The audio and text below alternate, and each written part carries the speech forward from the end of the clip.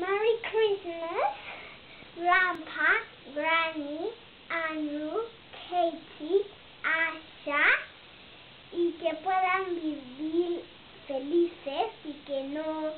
estén molestos con la familia, que puedan vivir mejor que antes, que puedan hacer lo que quieran, que tengan una feliz Navidad, que les den muchos regalos y que puedan tener